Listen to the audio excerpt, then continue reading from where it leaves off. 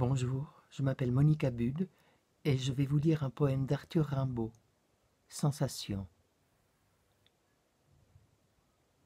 Par les soirs bleus d'été, j'irai dans les sentiers, picoté par les blés, fouler l'herbe menue. Rêveur, j'en sentirai la fraîcheur à mes pieds, je laisserai le vent baigner ma tête nue.